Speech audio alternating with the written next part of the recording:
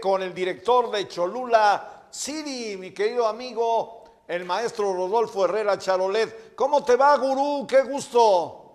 Gracias, Polo. Muy bien, pues estamos preparados ya esta semana intensa, terminando con el sábado que va a ser el sexto aniversario de Factor Ciudadano, Factor Radio y todas las organizaciones que forman parte de Factor. Y eso va a ser interesante porque pues es un evento importante para pues para los amigos que están eh, involucrados precisamente en la actividad política y social. Y bueno, este sábado es el, punto de reunión muy, muy importante. Y esta semana arrancó con buenas noticias. Eh, el senador Armenta ganó eh, por un margen bueno. 10 puntos de los 10 reactivos, o sea, todos los reactivos los ganó, los de Morena. La calificación, hay que decirle, es muy especial. Eh, cada reactivo tiene una ponderación distinta, entonces no es igual. Eh, conocimiento, nivel de conocimiento es cero, o sea, hay que decirlo.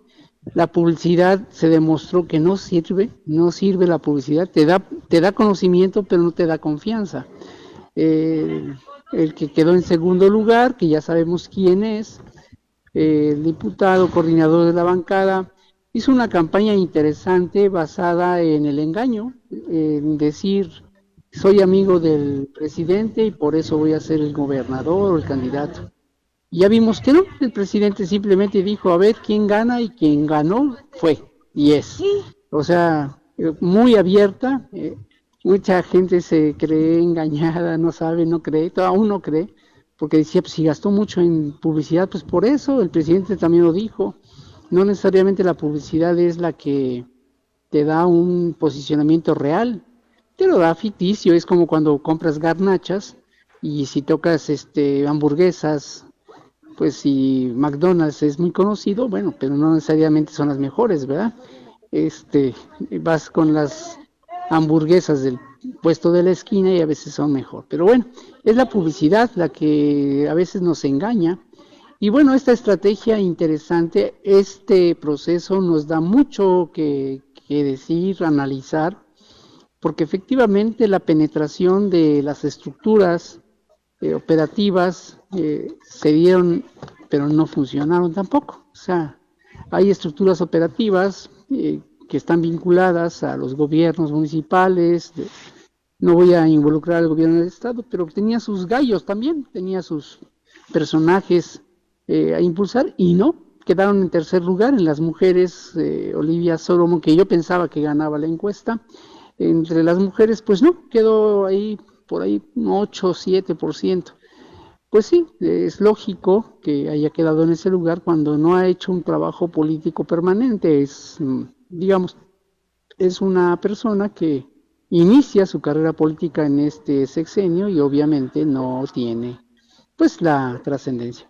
Hay un engaño también de algunos periodistas, sí, eh, respetable su opinión, en el sentido de que no se vale porque Alejandro Menta tiene 20 años o 30 años en la política y lo conocen por eso mucho, ¿no? Pues también Nacho Mier tiene los mismos o más años. O sea, yo me acuerdo desde eh, 95, eh, en la época de Manuel Bartlett, ya era presidente del PRI estatal, o sea, eh, ya era diputado local, fue diputado federal, o sea, también tiene carrera política, secretario del ayuntamiento, en fin, él, también tiene lo suyo en carrera política. La única diferencia es de que hay candidatos de aire, candidatos de tierra, candidatos de fuego, candidatos de agua. Y me dirán, bueno, ¿y esos cuáles son? Bueno, los candidatos de aire ya los vimos, son los de publicidad. La publicidad y este, los espectaculares, las millonadas gastadas en ese tipo de cosas. Los de tierra, los que caminan, caminan y caminan y caminan y saludan. Ese fue Alejandro Armenta que pues caminó, caminó y caminó y saludó y saludó, no importando si eran de un partido u otro, él saludaba a todo mundo, fue a todos los mercados del estado, caminó todos los días, kilómetros, pues obvio, lo van a conocer y es cercano a la gente, y lo ha hecho durante los últimos 20 años, entonces caminar, pues sí, sí, produce, y como dijo el presidente, ponte zapatos cómodos, ¿no? Bueno, esos son los de tierra. Los de fuego, que son de redes sociales, incendian, declaran, son muy habladores, por cierto. Bueno, simplemente hacen su estrategia, pero tampoco funcionan los de fuego, porque finalmente llega el agua y los apaga. Y los de agua, que como dicen que nadan de, de, pez, pececitos, eh, nadan de muertito, y esperan la oportunidad para, para aparecerse. Bueno, pues esos, este, hay muchos candidatos de ese tipo. Y ahí tenemos a unos, este, ahorita por ejemplo tenemos a un célebre empresario, empresario rico, empresas pobres. Eh, desde el año 2005 fueron quebrando sus empresas. Una de ellas debe más de mil millones al SAT y al IMSS, con más de 20 embargos registrados en la SIGER y esta empresa, eh, que es de la familia Chedraui, pues es una de tantas de las que dejaron al aire a más de 512 trabajadores sin el pago de sus indemnizaciones porque los juicios laborales pues sí fueron inteligentemente manejados. Por no decir que la complicidad del poder en ese tiempo, hay que decirlo, era priista, fue presidente del comité directivo municipal, su papá, que ya murió, eh, antes de morir, un año antes de que fuera Peña Nieto, le organizó una, una comida de empresarios en la mansión Chedraui, que todos saben que está en la Boulevard Hermano Cerdán, y donde llegó el arzobispo primado de los ortodoxos, también ya muerto, eh, Chedraui y bueno, este personaje muy importante de la religión ortodoxa, pues me tocó a mí recibirlo como se, acostumbra que los personajes importantes son recibidos por algún por alguna persona del, enviada por el candidato o gobernador que toma protesta en ese momento o cuando es el informe algún funcionario de alto nivel lo, lo recibe a mí me tocó recibirlo ir a la residencia llevar pues el saludo del en ese momento eh, gobernador electo y efectivamente es una mansión enorme, muchas salas, muchas estancias, y este, pero esa es la riqueza personal.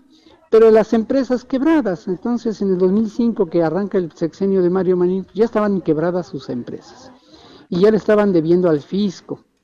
Hicieron una inversión de 3 mil millones de pesos, que menos tres ceros, pues son menos millones, ¿verdad? Este, pero bueno, de si son 3 mil millones menos 3 ceros, pues son menos millones de inversión. Pero bueno, se endrogaron, un crédito refaccionario, otro crédito que finalmente se fue a FINSA, lo pagaron efectivamente, pero para poder lograr ese crédito la empresa no daba y empeñaron, como le dicen, embargaron, pues Hacienda Munive, que es de ellos, eh, otra hacienda de Zacatepec, que es de ellos, toda la maquinaria, todas las 20 máquinas que compraron.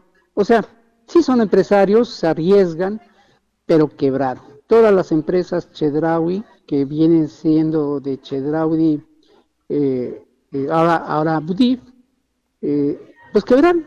Ya, ya, ya no tiene empresas muy grandes, son muy chiquitas las que tiene. Y su hijo, su hijo que se llama igual, Pepe Chedraui, Budif, este, también tiene tres, cuatro empresas muy chiquitas con capitales de 50 mil pesos, pero hacen negocios con al amparo del poder y bueno, no voy a decir todos los contratos que han logrado los primos, sobrinos, en fin, todos derivados de eso en el actual gobierno. Entonces, eh, pues está bien, ahora ya es morenista, pretende ser candidato a la presidencia municipal de Puebla por Morena, pero yo me pregunto, es el empresario más conocido, pero el menos confiable. Hay que recordar que estuvo involucrado en la investigación de la muerte de la gobernadora y del senador Moreno Valle cuando el helicóptero salió de su residencia. Su relación personal que tiene eh, Pepe Chedraui es precisamente con el actual eh, gobernador cuando fue diputado de la legislatura y obviamente en ese año eh, se fue el que es actualmente gobernador como candidato a presidente municipal por Movimiento Ciudadano y el Moreno o sea, el PAN también lo apoyó. Entonces, eh, eh, es explicable que Pepe Chedraui tenga una relación eh, formidable.